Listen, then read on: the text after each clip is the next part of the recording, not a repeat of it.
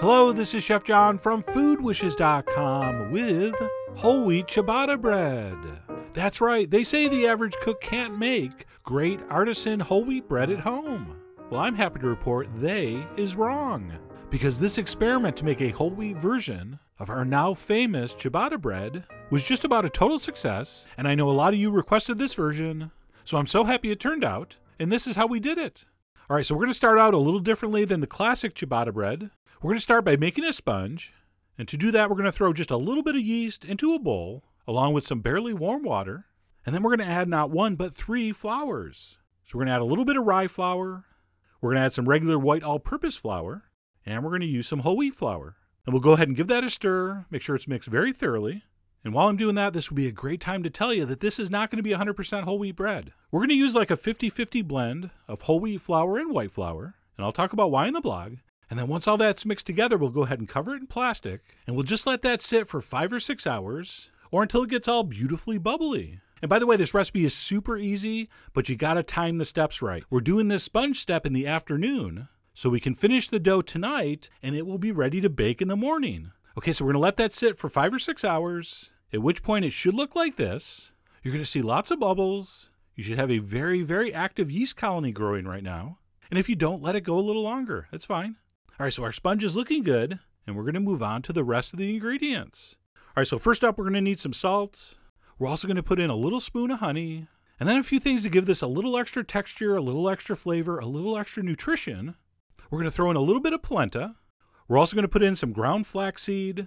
All right, very good for the plumbing. And we're also going to toss in some sunflower seeds. Yes, that's what those baseball players are eating all the time. And then it's time for the rest of the flour. And like I said, we're going to use half white and half whole wheat. So we're going to dump that in. And then we're going to take a wooden spoon, which is my favorite tool for this step, and we're going to stir that until a very sticky dough forms. And as I was starting to stir here, I looked down on the counter and I realized we didn't add the extra water yet. So we're also going to add a half a cup of room temperature water at this stage. And by the way, that's a great reason to measure stuff out and have it on the counter because it was really easy for me to notice I hadn't added it yet. And of course, there's other things like pumpkin seeds or sesame seeds that you can also add into this dough. I mean, suit yourself. You are the Jake LaMotta of your whole wheat ciabatta. And speaking of Raging Bull, people stop sending me emails that your ciabatta bread was flat. It's supposed to be flat. Ciabatta means slipper. It's an oval flat loaf, okay? So save your cards and letters. But anyway, we're going to mix that with a wooden spoon. And once it comes together, I want you to stir that for about three minutes until this forms, which is a very, very sticky, very wet dough ball, which really isn't even a dough ball. It's basically a dough lump. But you can see how it kind of wants to pull together. It kind of sticks to the sides, but it is sort of acting as one unit. Okay, so that's perfect. And of course, I'm going to give you the measurements. But forget measurements. If yours doesn't look like that, fix it. Or if it's too dry, add some water. Or if it's way wetter than that, add a little more flour. Okay, the beauty of video is make it look like that. And once it does look like that, go ahead and scrape down the sides, clean off your spoon, and then we're going to go ahead and wrap that up and let that rise overnight for about 10 to 12 hours or until doubled.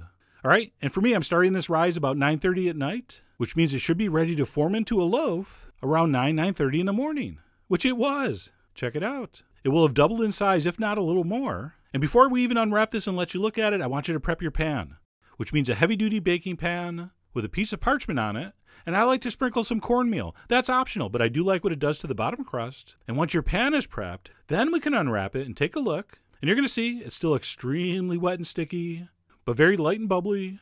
And you can see here, even though we didn't knead it, it's still very elastic. There's a lot of gluten formation. So at that point, we're going to scrape it out of the bowl onto a floured work surface, lightly floured. We need this dough to stay very wet. All right, so you only want to use a minimum amount of flour on your hands and on the dough, just enough to work with it. And the only thing we need to accomplish in this step is to knock the air out of it, which pretty much is already done by the time you scrape it out, and form it into a smooth surfaced oval loaf shape, which is what I'm doing here. And like all loaves of bread, if you do have a seam, have it end up underneath. And once you have something that's roughly in an oval shape, or anything similar to that's going to work, we're going to flop it over onto one hand and quickly transfer that onto our sheet pan. And then we're going to need to let this rise for about an hour and a half until it doubles and we're going to want to cover it. And what I like to use lately is floured plastic wrap. All right, so take some wrap and get it super floury, and then drape that over your loaf. And by the way, I really should have put flour down on the loaf. My plastic totally stuck to the top. So I'm actually going to give you some extra tips about that on the blog. But anyway, we're going to cover that. We're going to let that sit in some kind of warmish area for about an hour and a half. Could be a little quicker, could be a little longer, who knows. But when it's ready for the oven, it's going to look like this. And yes, it definitely grows out more than it grows up.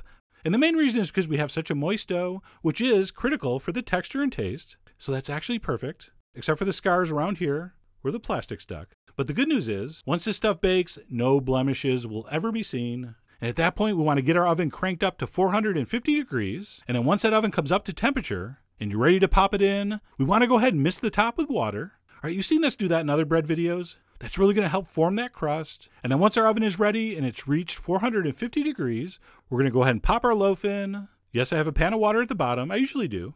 But anyway, pop that in, and we're going to bake that at 450 degrees for about 30 to 35 minutes. And then every once in a while, maybe two or three times during the baking process, we want to open up the oven and give it a quick spray of water. That really is the secret to a great crust. All right, that's really going to give you that shiny, crusty, kind of blistered artisan loaf look. And if you've tried our baguette recipe, you know it works. So spray quickly, close it back up. And then, like I said, about 30 to 35 minutes, your whole wheat ciabatta bread should be done and look like this. Oh, yeah, that's a handsome loaf. But anyway, let's just not stand around high fiving ourselves. Let's go ahead and transfer this onto a cooling rack. And then I'm only going to say this once you have to let this cool before you slice it. All right? Let me repeat that. You have to let this cool before you slice it. Completely cool. But once it is, go ahead and slice it up. Man, that sounds good. Not only did it sound good, it looked good. Look at that crumb structure, or matrix, or whatever they call it. It looks pretty good. Let me get one more slice here. And more importantly than the looks, the taste really was excellent. All right, for being half whole wheat, this still had a very mild flavor. It did not have that overly bitter, too earthy flavor that you get with some whole wheat breads. And then, of course, for the ultimate serving suggestion, you're going to want to toast this and put some butter on it. I mean, I demoed this a few years ago and it really, really caught on.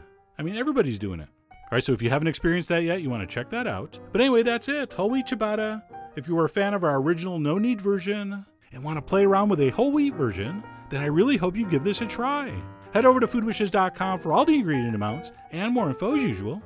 And as always, enjoy.